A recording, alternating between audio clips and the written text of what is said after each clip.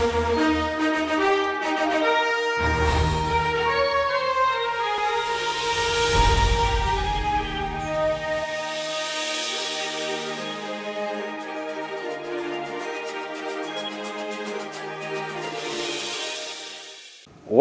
to The Advocate, where tropical issues are discussed in a no who's bad manner. In other words, we call a spade by its name. Today I'm calling for gender equality in all walks of life. Tolu speaks on public safety today, and to be honest, no one is safe until everyone is safe. Olanrewaju speaks on business synergy and the strength we possess as a nation, and Abdul is questioning the justice system. Sit back the panelists are here to present your Sunday dose of provoking thoughts after this break. Breaking the bias.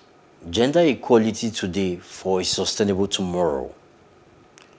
On March 8th, in commemoration of the International Women's Day, over a million women went out on the march protesting against the rejected gender equality bill in the National House of Assembly and also the denial of citizenship for foreign-born husbands. This picture highlights discrim discriminatory policies antagonizing women and gender equality. If we want to see a better Nigeria and a sustainable tomorrow, then these archaic policies should be reviewed. In past and recent times, women have gone beyond norms and discriminatory policies to etch a name for themselves in the society. The issue of gender roles and responsibility have viewed the need for sustainable input from both sexes. In order to see progress in creating flourishing atmosphere for both genders to thrive, gender-based biases could be addressed through the following. Gender equality mainstreaming in diverse sector, pushing bills in parliament that supports gender equality, the need for gender equality sensitization in schools and educational institutions, enforcing laws that supports gender equality beyond theoretical views, the recent agitations for a gender-balanced representation in executive leadership is a worthy fight. If taken up seriously, this could start a new era for dynamism. The constitution of the country should not be built upon biases or wrong religious sentiments. No doubt, the task at hand will be a long, worthy work that will demand men, women, and those at the helm of affairs to pick up the mantle for a positive change needed. In conclusion, any given society that envisions development and equality should be flexible enough to give worthy individuals a chance based on merit and not on gender or racial biases. Remember this, a man is as human as a woman, and leadership has no gender. So break the bias. well, um, well, with me, I, I think it's quite sickening that um, they, they didn't go for the bill. Because as far as I'm concerned, a woman can do as much as, as much as a man can do. And that bill just shows that our representatives are li living in stone ages where they think uh, a woman cannot do anything. In private businesses, so we see women who, who runs their business and they're doing a very good job. Are you now saying that women, women should, not be, should not be in government? It's quite sickening to me and is, is, is a decision that should be reversed to me. No, you're, you're right. Uh, just before you comment, let's, Mr. Tolu, I know you have so beautiful women around you, your daughters, your wife. I'm sure you have big plans for your daughter. So, what do you think about yeah. this? You know how, yeah, thanks, thanks. Okay.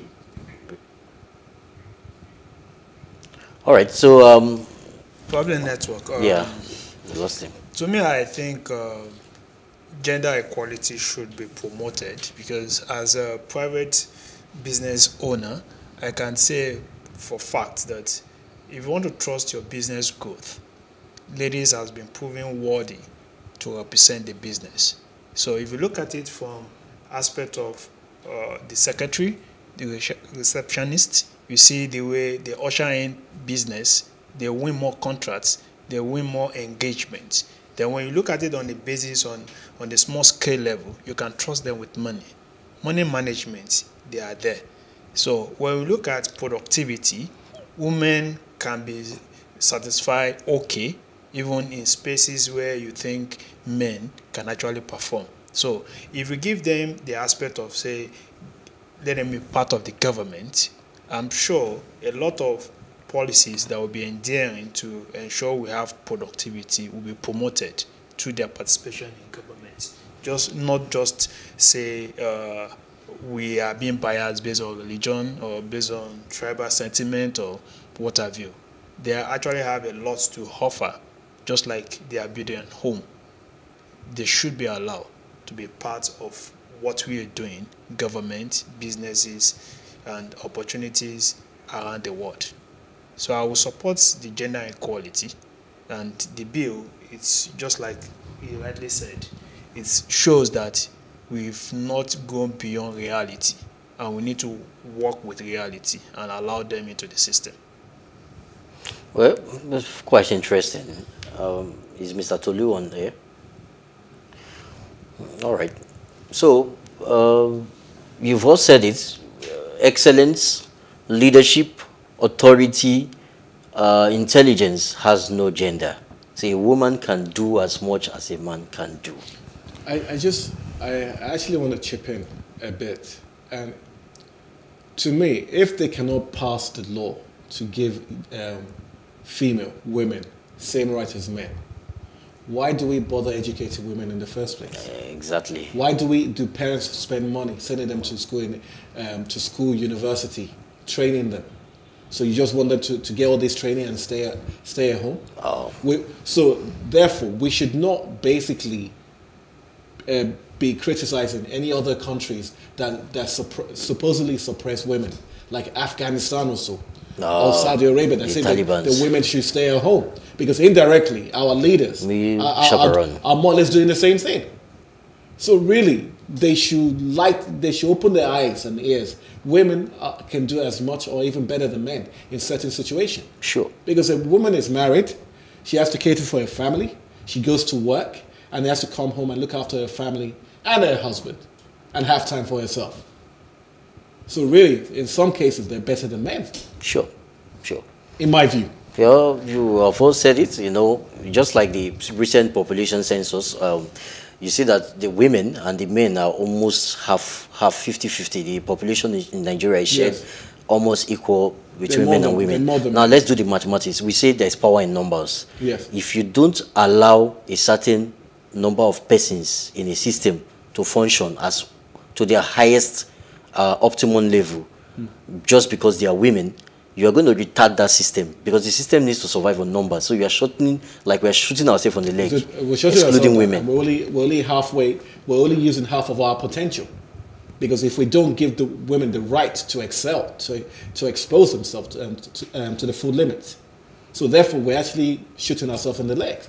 Yeah, you're right. And in addition to that, if you also look at it from another perspective, where we we as men, we know we have uh, we make policies of long time policies, but at, at some point we need some instant results, instant policy. And you know, when women bring in their own ideas of say, you know what, this situation that we are in, have you tried this? Their opinion, because they are good at giving solutions, They're instant solutions you know but when we don't have that balance we only focus on uh, the long time goals the long time achievement result and stuff like that. What it translates to on the long run is we'll be drafting policies that are harsh that don't conform with the reality. They are very fantastic policy but they are they obtainable with what we, the reality is talking about. So we need a strike and balance where uh, we have the men making good use of their intelligence right and the women also trying to strike a balance and ensure that everything work hand in hand Yeah, yeah, don't worry. So, Mr. Tolu, yes, I was saying um, your your view on uh, this issue. You've given the fact that you have several women around you, as a strong man you are. Yeah, you know, um, I'm sure you know my views already about this. Clearly, someone is not thinking straight. You know, again, in a world where men have to make a decision about women, clearly someone is not thinking straight again. Because, I mean, if you're saying that you want to achieve gender equality and the men are making decisions, I mean, the majority of the decision makers are men and they're making decisions on behalf, on behalf of women, clearly someone needs to be wearing that thinking cap. You know, it's been proven time and time again that organizations have been run by women or have more women on their boards or in the management team actually perform better. You know, this is this is empirical fact. This is fact. You know, this is not a myth. So to now say that you know uh, you can't give a woman the same rights as a man, I mean, like um, like one of the panelists said, clearly someone is still in stone age and should be wearing, you know, maybe leaves and carrying a, a club around. You know, it's just ridiculous to say the least. Mm, all right, thank you very much, my fellow. Should I safe to say he for she? So let's um, let's break the bias. yeah. All right, thank you. Up next is Tolu. Stay with us.